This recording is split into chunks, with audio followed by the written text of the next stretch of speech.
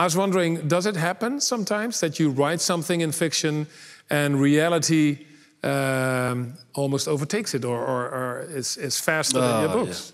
Yeah, yeah it, it happens. It happens uh, uh, quite often.